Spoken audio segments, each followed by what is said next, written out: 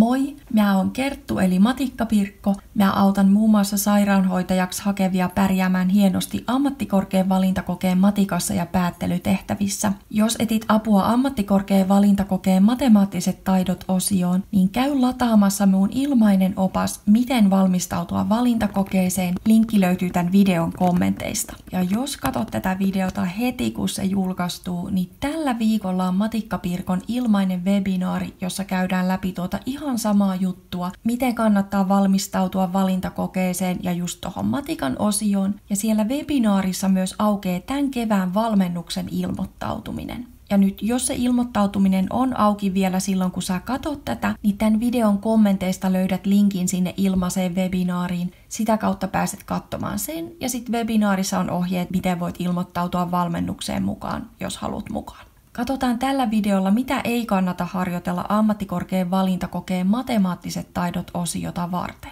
Ensimmäisenä kohtana, jos sä oot käynyt lukion, niin nyt ei kannata ruveta jumppaamaan niitä lukion pitkän matikan erikoisuuksia.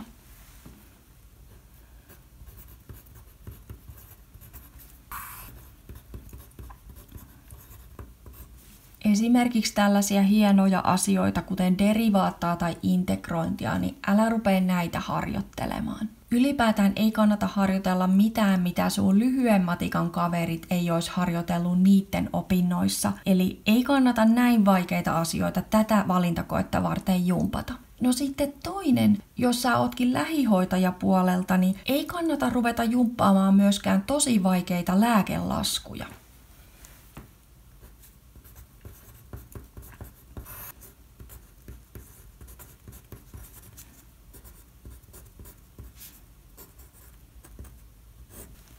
Eli ei kannata lähteä harjoittelemaan vaikeita vaikeita lääkelaskuja tätä valintakoetta varten. Näitä harjoitellaan sitten siellä sairaanhoitajien opinnoissa, mutta et älä rupea jumppaamaan esimerkiksi mitään tämmöisiä epiduraalitiputusten lääkeseoslaskuja, että on fentanyyliä ja bikainia ja keittosuolaliuosta ja samoin älä rupea myöskään harjoittelemaan tämmöisiä lääkelaskuja, joihin liittyy just lääkelaskumatikalle tyypillisiä jänniä, jotain ilmaisuja. Esimerkiksi kansainvälinen yksikkö on sellainen, että sitä sun ei kannata harjoitella tätä valintakoetta varten. Et mitkään tämmöiset lääkelaskut, missä on vaikka, että potilas ottaa insuliinia ja pitoisuus on 100 IU per millilitra. Ei tämmöisiä laskuja, missä on mitään IUta tai KYtä sitä kansainvälistä yksikköä, eikä myöskään tämmöisiä laskuja kannata harjoitella, jossa on näitä annostusmerkintöjä, että vaikka 35 IU kertaa kaksi. Tommosia ei kannata harjoitella tätä valintakoetta varten. No sitten kolmas, mitä ei kannata harjoitella, on tilastomatiikka.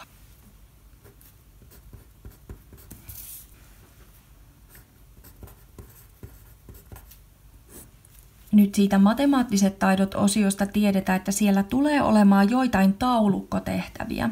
Ja se saattaa johtaa niille jäljille, että rupeaa miettimään, että pitäisikö muu harjoitella tilastomatikkaa, että taulukko ja tilasto, nehän kuulostaa aika samalta. Mutta nyt ei kannata lähteä sille tielle, että rupeat opettelemaan jotain, mikä on keskihajonta tai otanta tai frekvenssi, tällaisia eksoottisen kuulosia termejä, jos katot jotain tilastomatikan kirjaa, niin enintään opettele sieltä, miten lasket keskiarvon ja vilkase, ymmärrätkö, miten niitä erinäköisiä kuvaajia luetaan. Mutta jätä väliin kaikki nämä vaikeat sanat, frekvenssi, luokkaraja, luokkakeskus, tilastollinen muuttuja. Älä opettele näitä vaikeita tilastomatiikkasanoja. Ja sitten vielä ihan viimeinen juttu, kun harjoittelet, niin laita laskin pois, koska tässä osiossa lasketaan ilman laskinta.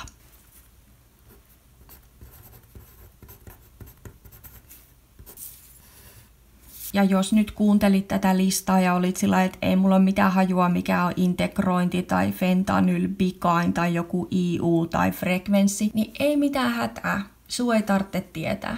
Tässä valintakokeessa sä et hyödy mitään siitä, että sä niistä tietäisit. Joten iloisin mielin harjoittelemaan ihan perusjuttuja. Ja tärkeä on tuo, että kun lasket, niin malta laskee ilman laskinta, jotta sulle tulee rutiinia siitä, että miten vaikka kerrot allekkain lukuja tai miten lasket jakokulmassa laskuja.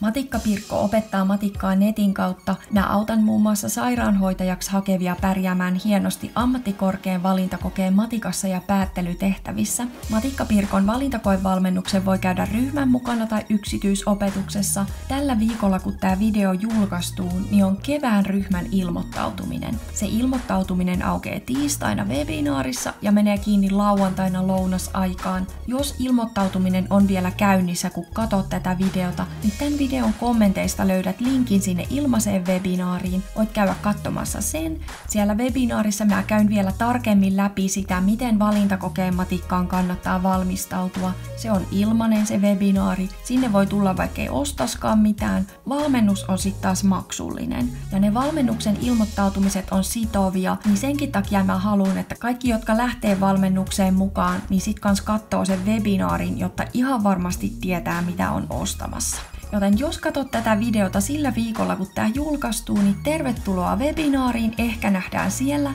Ja tervetuloa katsomaan webinaarin tallennetta, jos et pääse livenä paikalle. Se on tällä viikolla katsottavissa lauantaihin lounaaseen asti. Linkki löytyy tämän videon kommenteista. Yksi minun viime kevään valmennettava kirjoittaa näin. Osallistuin Matikkapirkon valintakoevalmennukseen, koska matikan opiskelusta oli kauan aikaa ja opetus vaikutti selkeältä. Verkkovalmennukseen oli myös helppo osallistua. Ammattikorkean valintakokeessa laskut oli aiempaa helpompi laskea tai päätellä, kun niitä oli valmennuksen aikana harjoitellut ja palautellut muistiin.